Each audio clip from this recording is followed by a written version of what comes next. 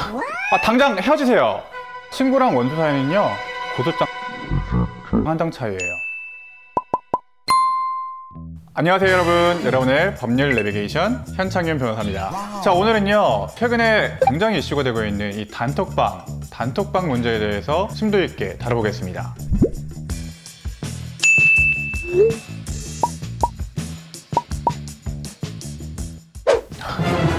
자 여러분 이런 얘기 절대 하시면 안 돼요. 이런 불법 영상 촬영하고 유포하고 다운로드 받아보다가 20대에 빨간 줄 생길 수 있어요. 자, 이 단톡방에 있는 사람들은요 크게 세 가지로 나눠볼 수가 있어요. 뿌린 사람, 받아본 사람, 무관심한 사람. 촬영하는 것 당연히 처벌받겠죠? 이런 불법 촬영물을 다운받고 또다시 다른 단톡방에 유포하는 행위 이건 어떻게 처벌될까요?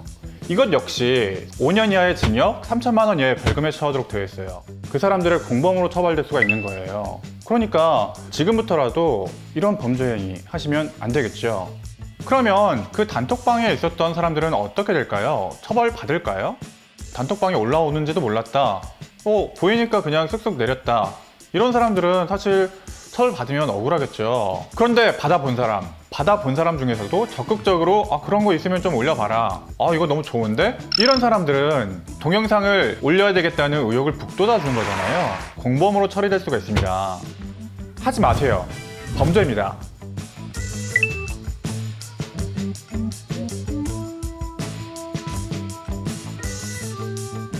이번에는 어떤 회사 단톡방인 것 같은데요.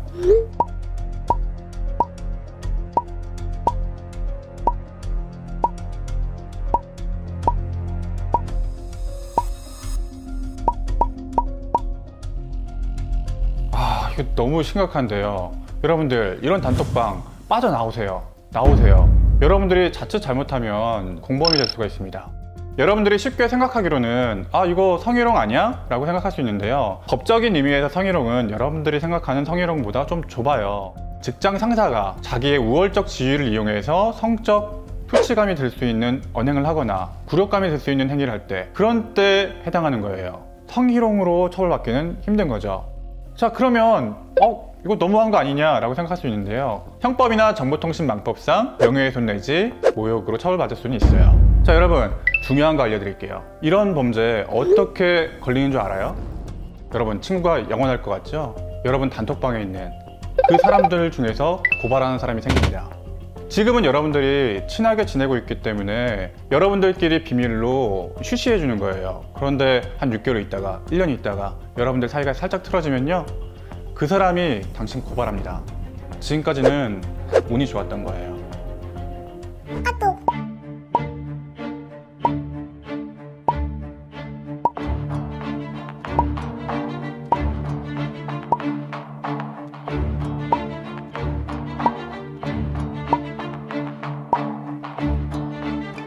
미친 아 당장 헤어지세요 실수로 보내는 게 어디 있어요 여러분 이거 엄청난 범죄 행위입니다 여자친구의 사진을 동의 없이 촬영한다? 이것만으로도 성범죄입니다 거기서 더 나아가서 이걸 유포를 해요? 무슨 남자친구가 그런 짓을 합니까? 설령 동의하에 영상이나 사진을 찍었다고 하더라도요 그 의사에 반해서 다른 사람한테 유포했다? 이것 역시 범죄예요 불법 촬영 행위와 똑같이 처벌받을 수 있는 겁니다 어, 이번에는 천명의 사람들이 있는 단톡방이네요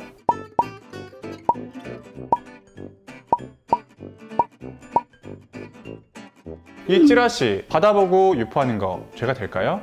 정답은 된답니다 여러분 형법에는요 명예훼손이라는 게 있고 사실을 적시해서 명예훼손을 한 경우에도 죄가 된다고 보고 있습니다 여러분들이 어떤 말을 해서 타인의 명예를 실추시켰을 경우에 설령 그 여러분들이 한 말이 사실이었더라도 처벌을 하겠다라고 하는 게 바로 이 사실 역시 명예훼손입니다 그러면 기자들도 모두 처벌받는 거예요?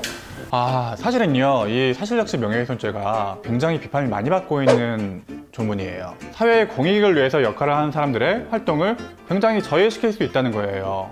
그런데 항상 처벌받는 건 아니에요. 여러분들이 처벌을 받지 않기 위해서는요 오로지 공익을 위한 점이라는 게 입증이 되어야 돼요. 기자들이 어떤 정말 사회 비판적인 기사를 썼다 이런 경우에는요 위법성이라는 게 조각돼요. 여러분들이 한 행위가 위법성이 없다는 거예요. 그러면 익명으로 얘기할 때는 어떻게 되는 거예요? 아, 익명성. 여러분이 좋아하는 배틀그라운드나 롤을 할 때 상대편이 실명이 아니라고 해서 어 그러면 명예훼손에 해당하지 않아 라고 하면서 어머니 안 붙였거나 어머니 잘 계시니? 이런 얘기 많이 하시는데 온라인상이라거나 익명 게시판이라고 하더라도요 그 사람이 누군지 신상 정보를 알 수가 있다 라고 한다면요 명예훼손에 해당할 수도 있어요. 그러니까 여러분 게임할 때 욕하지 마세요. 나 브론즈라고 괴롭히지 마세요 여러분 제가 재밌는 이야기 해드릴게요. 여러분이 여러 사람들 앞에서 어떤 사람의 명예를 훼손하거나 모욕하는 건 당연히 죄가 되겠죠? 그런데 1대1로 얘기할 때는 이 앞에 있는 사람을 욕하면요 이건 모욕죄가 안 돼요 작가님 못생겼어? 라고 작가님한테 얘기하면 이건 모욕죄가 성립하지 않아요 작가님이 아니라 피디님한테 저 작가님 너무 못생겼어요. 라고 하면은 이건 모욕죄가 성립해요. 왜 그럴까요? 바로 전파 가능성이라는 것 때문에요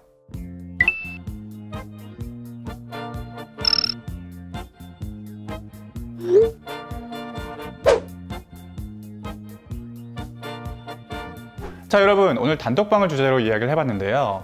여러분 SNS 언제든지 증거가 될 수 있는 세상이니까 SNS 정말 조심해서 하시고 단톡방 특히 주의하시기 바랍니다. 오늘의 수입료는 구독과 좋아요로 받겠습니다. 다음 영상에서 뵙겠습니다. 안녕